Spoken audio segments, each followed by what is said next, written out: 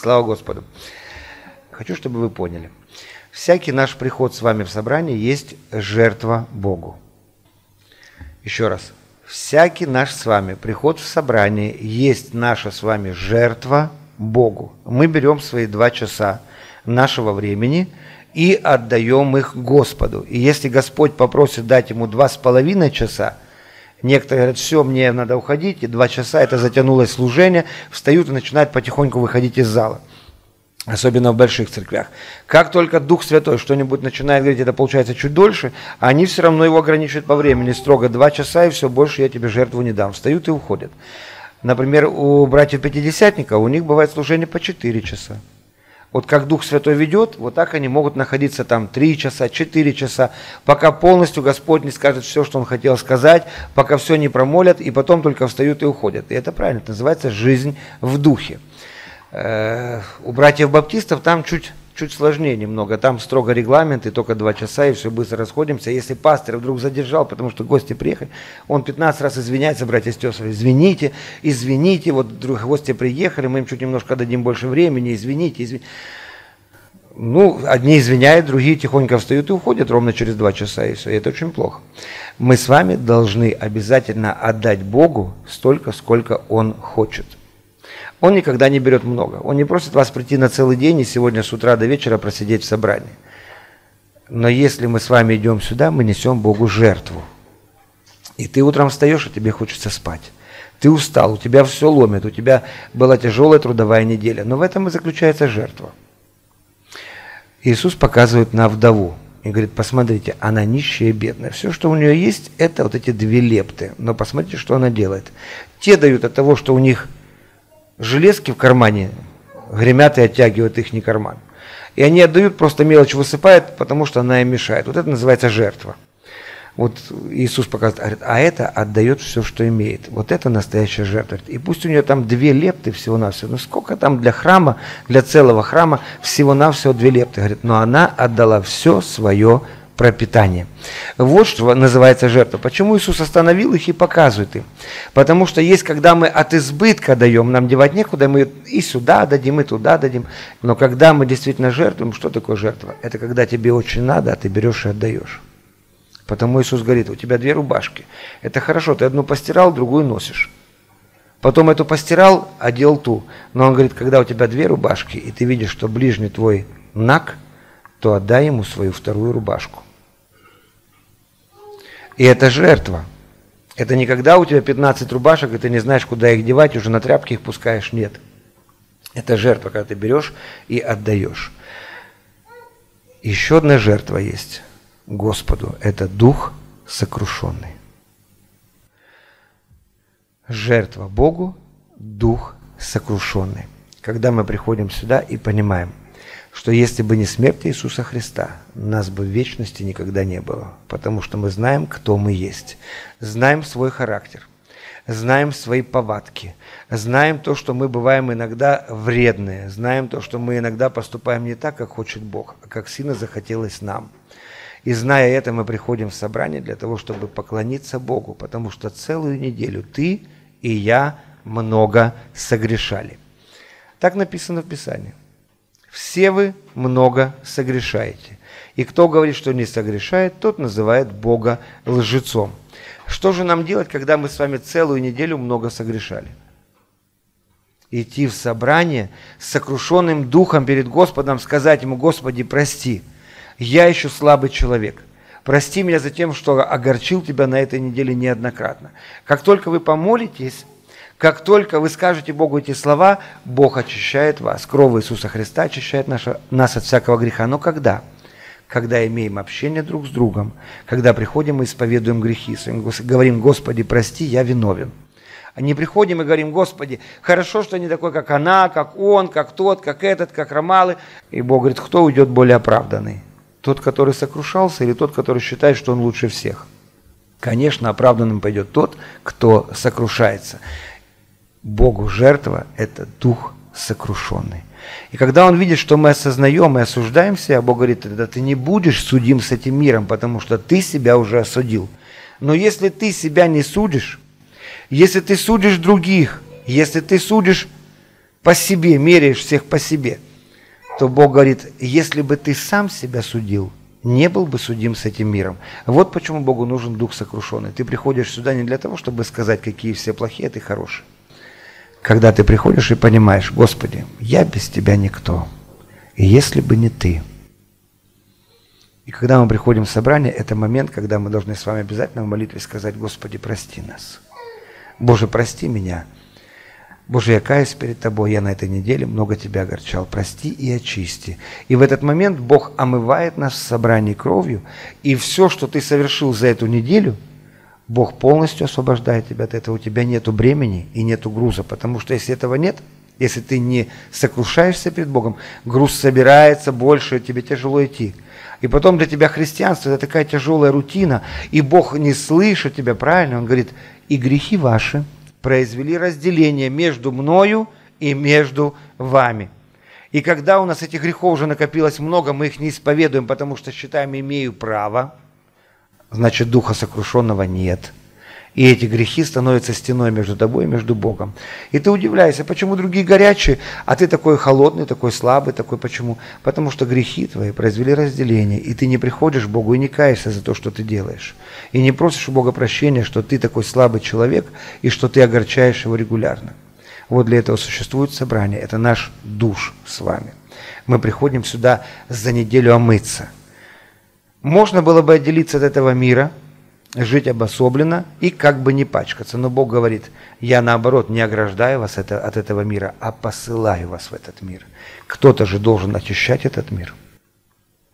Кто-то должен показать пример этому миру. Кто-то должен объяснить человеку другому, и кто-то должен засвидетельствовать об Иисусе Христе. И Бог посылает нас в этот мир, и мы пачкаемся. Приходим в воскресенье в собрание – Дух сокрушенный, Господи, прости меня, Боже, я еще слаб, но помоги мне стать более совершенным, укрепи меня, и где у меня мои проблемы, и характер мой, и прочее.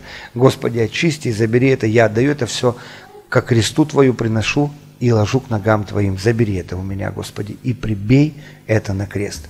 Происходит очищение, происходит освящение Твоего храма и моего храма, и когда мы выходим отсюда, у нас неделя – это совсем другое дело. Мы с тобой христиане, которые вошли в этот мир и дальше трудимся, как верующие в Иисуса Христа люди.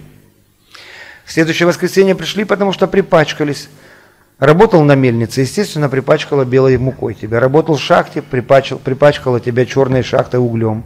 Надо помыться, переодеть одежду, для этого существует церковь. И вот мы приходим сюда, и Бог очищает нас.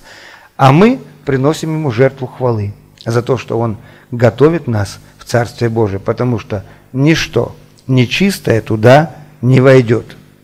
И если ты запачканный и не очищаешься, не освещаешься, то таким грязным просто тебя туда не пустят. И когда ты уверен, что ты как бы христианин, и ты иногда приходишь в собрание и смотришь на тех, которые такие странные такие, а ты вот такой сильный и мощный, то оказывается такое сильное разочарование, потому что это вот как раз, который больше всего себе мнит – тот может и не войти. Но у кого дух сокрушенный, кто бьет себя в грудь и говорит, Господи, прости, ибо я великий грешник, того Бог принимает, очищает и дает ему силы самому двигаться и вести за собой.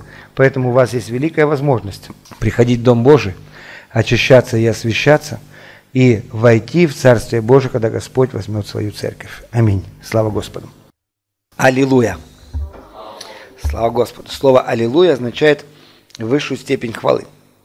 Поэтому, когда мы говорим «Аллилуйя», это относится только к Богу. Кто может получить высшую степень хвалы?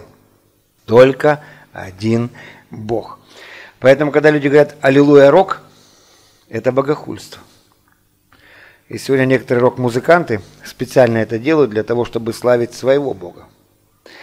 А мы это употребляем только для славы имени Господнего. Да, слава нашему Господу за то, что мы живы, здоровы, за то, что у нас есть силы и подкрепление, за то, что мы здесь, в Доме Божьем. Надежда, упование мое – это Господь. Надежда и упование – это Господь наш. И мы на Него взираем, на Него смотрим, когда тяжело нам, когда легко нам, мы смотрим на Него и получаем от Него милость и благословение. И Бог нас не оставляет без внимания ни в коем случае. Но пришло последнее время, пошли последние дни – это идет отсчет в обратную сторону. времени осталось так мало, и вот именно в это время нам с вами Писание говорит, чтобы мы были особенно бдительны, потому что дьявол хочет совратить не только этот мир, но и тех, кого Господь избрал. И мы тоже избранные, и Господь говорит, чтобы мы наблюдали и были очень-очень внимательны, потому что дьявол хочет сегодня совратить не только этот мир и людей в этом мире, но и тех, которые обратились к Богу. И сегодня многие совратились. Те, кто был частью церкви, частью тела Христова, сегодня кто-то впал в грех, кто-то отпал от церкви, кто-то впал в суету и увлекся настолько этим миром, что сегодня пошатнулись его отношения с самим Господом. И для них уже дилемма, для них уже вопрос сегодня, а они входят в Царствие Божие или нет? А будут ли они подхвачены во время вознесения церкви, которое скоро произойдет? И многие из них запутались так в этой жизни, что теперь не знают, что им дальше делать. Кто-то разругался со своим пастором, со своей церковью, обиделся на свою общину и больше не хочет ходить, ему обидно, все его обидели и даже не понимает, что вопрос обиды стоит не в том, что церковь плохая, вопрос обиды стоит в том, что он ее принял. А обиды дает не церковь, обиды дает дьявол. И Иисус об этом говорит, что в последние дни, в последнее время должно прийти обидам. И много обид придет в эту жизнь, потому что дьявол знает наше лукавое сердце и крайне развращенное сердце. Что если что-то не так, как бы мы себе хотели, то нас сразу же это обижает. А когда мы обижаемся, соответственно, мы со своим характером разворачиваемся и уходим. И уверены, что Бог пошел сразу же за нами, хлопнул вместе с нами дверью и ушел. И мы очень сильно в этом ошибаемся. И вот в эти последние дни очень многие совратились и ушли, оставив служение Божие, оставив церковь и Божьи отношения. Некоторые думают, что у них продолжаются отношения с Богом, как бы продолжаются, когда они вне церкви, вне тела, вне христианской жизни, вне христианского общения. Они уверены, что можно просто сидеть в интернете, смотреть разные проповеди, и ты спасенный человек. Вы ошибаетесь, потому что это лишь только дополнительная пища, когда вы в интернете послушаете добрую, хорошую проповедь. Но без церкви, без служения вы не спасенные люди, потому что только имея общение друг с другом, мы называемся детьми Иисуса Христа. Я расскажу вам историю об одной семье, которая уехала отдыхать. Папа шестилетний сын, мама с грудной девочкой на руках. Они сели в машину, уехали, отдыхали. Отдых закончился, и возвращаясь домой, они ехали по своей дороге, и мальчишка шестилетний сидел рядом с папой на переднем сиденье. Сидел и баловался с защелкой двери, клацая туда и сюда. А папа знал, что если защелка открытая, то сын может нечаянно нажать и ручку, которая открывает дверь, и выпасть из машины. И он ему говорит, не клацай. А тот, чтобы папа не видел, рукой под мышкой сидит и дальше клацает кнопку на двери. В какой-то момент машина была на очень крутом повороте. И в этот как раз самый момент дверь распахивается, а мальчишка держался руками за ту ручку, на двери, которую он клацал, и он так повис между небом, между землей, ногами зацепившись за сиденье своего кресла. А отец на скорости протянул руку, схватил мальчишку за куртку и втянул его обратно. Остановил машину, вышел из автомобиля и пошел ходить вдоль дороги возле поля, туда и сюда, ничего не говоря. Для сына это был дурной знак – если папа ничего не говорит, это очень плохо. Когда отец успокоился, когда руки перестали у него трястись, он снова сел за руль, и они поехали домой. Пацан больше не хотел клацать кнопкой на двери, он сам очень сильно испугался, и как только они подъехали к дому, ворота гаража стали открываться, мальчишка выскочил из машины, бегом вбежал в дом – на ходу разулся, скинул с себя курточку, забежал в зал, пролез под праздничным столом, потом под елкой и спрятался за занавеску за елкой. Долго ждать не пришлось. Пришел папа в ту самую залу, и как будто бы зная, где находится сын, сразу же посмотрел на ту самую занавеску, за которой за елкой стоял шестилетний мальчишка, и поманил его пальцем оттуда. Тем же самым путем из-за занавески под елкой под столом праздничным мальчишка нехотя подошел к отцу и понял, что наступил момент расплаты.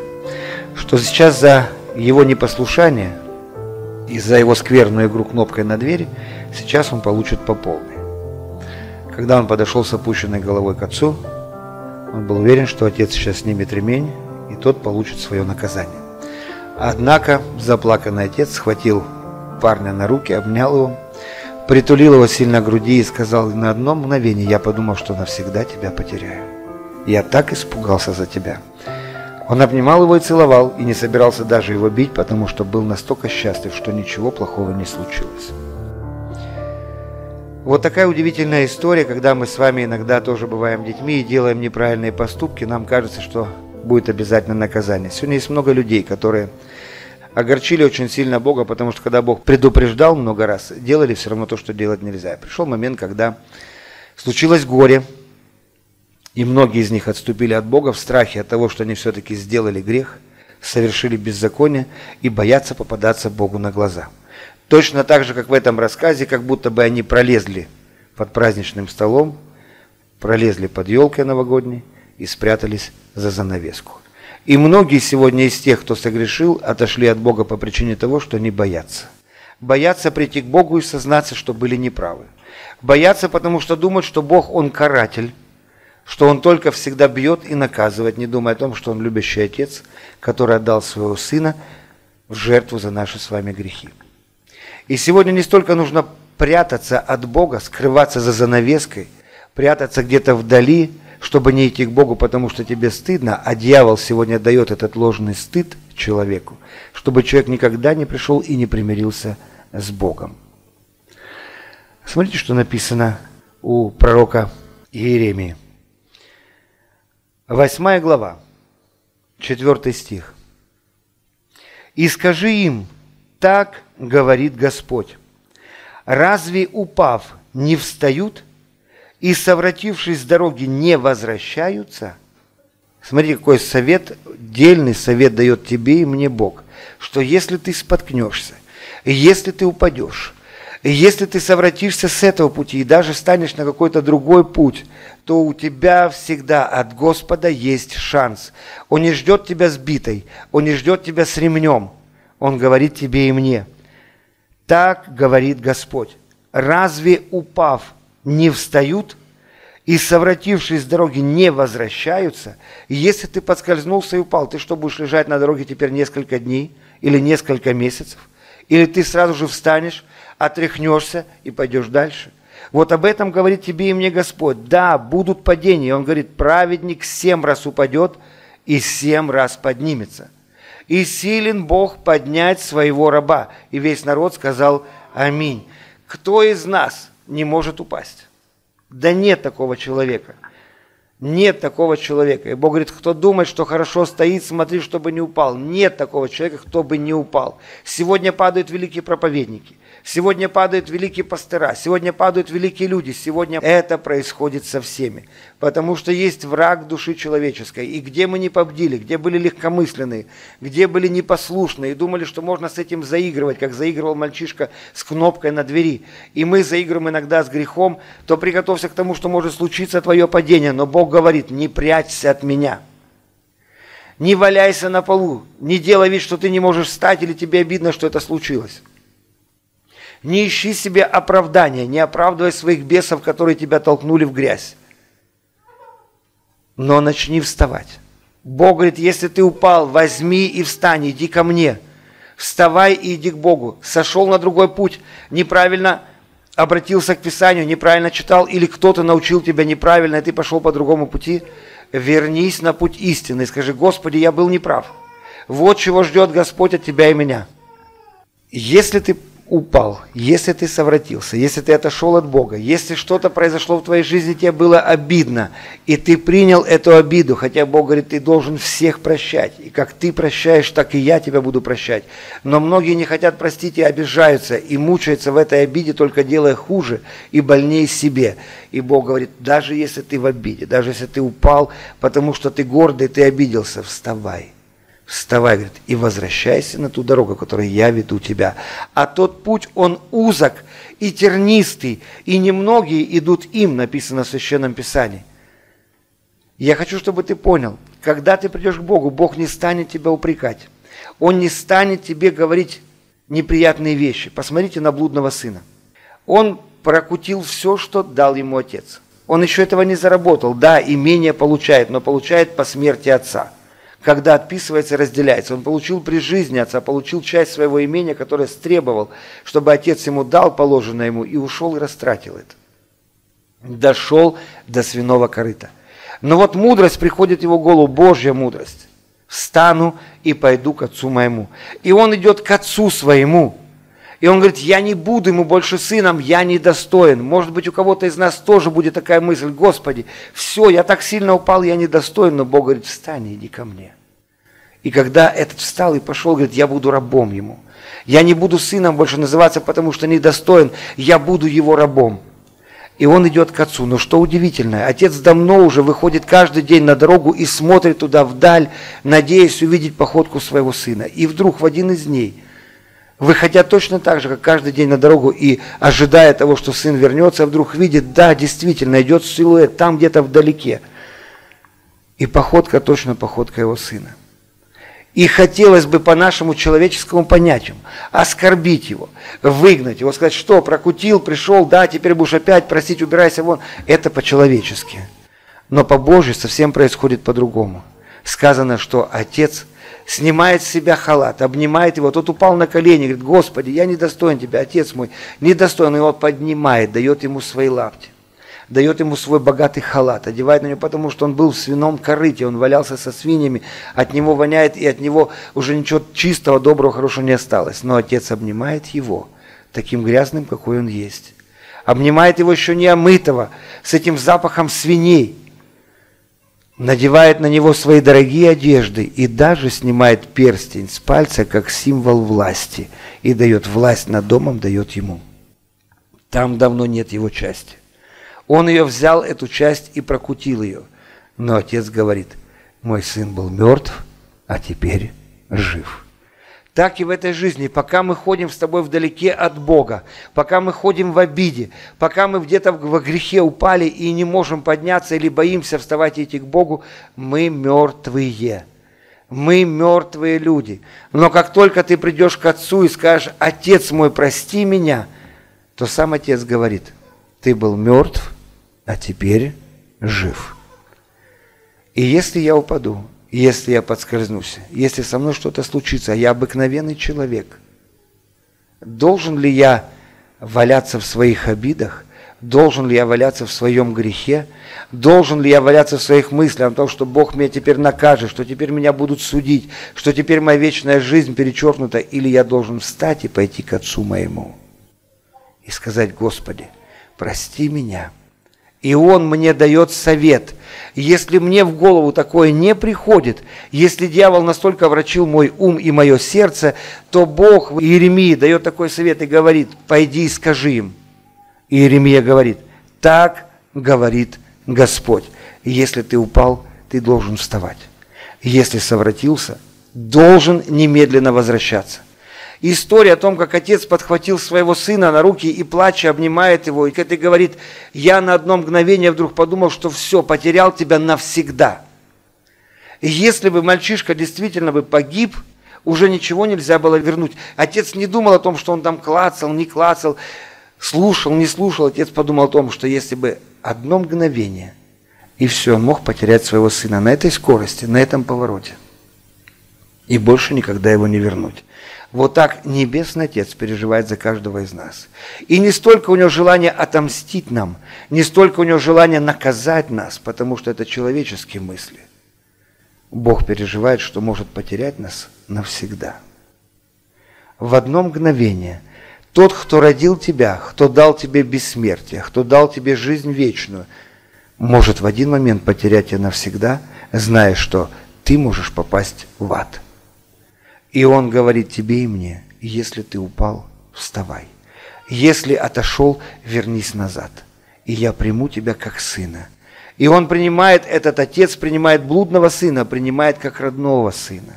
И уже объявляет праздник, радость, уже закололи быка, и он говорит, был мертв, а теперь жив.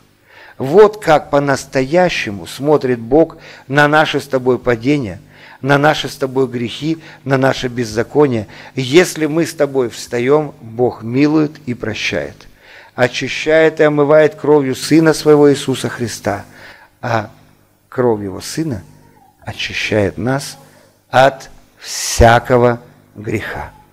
Всякого – это значит абсолютно, совершенно всякий грех. Какой бы ты ни подумал, что он огромный, что он очень большой, или дьявол бы тебя обманул, что тебе нет больше прощения, не верь дьяволу. Верь Богу, он сказал, кровь Иисуса Христа очищает нас от всякого греха. В этой жизни может случиться падение. Вставай сразу, потому что не знаешь, когда придет день твой, когда Господь призовет тебя к себе. Не знаем дня и часа, когда будет подхвачена церковь, но должны быть готовы каждый день и каждое мгновение. Должны быть к этому готовы. А для этого не стоит сидеть дома и размышлять, кто прав, кто виноват, кто хуже, кто больше, кто меньше. Встану и пойду к Отцу моему. И когда у тебя хорошие отношения с Иисусом Христом, Кровь Иисуса омывает тебя от всякого греха. А значит, ты войдешь в Царствие Божие. Потому что только нечистое туда не войдет. А чтобы очиститься, тебе и мне нужно прийти при лице Божие и попросить у Него прощения. Наладить с Ним отношения, вернуться в церковь, не иметь ни на кого обид и ни в коем случае не думать, что ты лучше всех, а все остальные такие плохие. Зная, что это тоже грех. Поэтому Бог ищет дух сокрушенный и такого сердца никогда не отвергает. Я желаю вам, если вдруг произойдут в вашей жизни падения, ни в коем случае не затягивайте возвращение к Отцу, чтобы не опоздать. Попросите у Бога прощения, вернитесь к Нему, и вы увидите, жизнь наладится. Отец не снимет ремень и не станет бить вас. Но Он снимет с себя свой халат, дорогой. Он снимет с тебя перстень и даст тебе его, чтобы ты мог быть снова законным Его детем. Во имя Иисуса Христа. Аминь. Хочу добавить к этому. Как-то один человек, бедный человек, попросился к английской королеве на аудиенцию. И никто не мог подумать, что королева вдруг захочет выслушивать бедняка. Каких-то дипломатов, да, каких-то, может быть, ученых, да, каких-то, может, предпринимателей, да. Но вот простой, обыкновенный, бедный человек попросил у королевы аудиенции.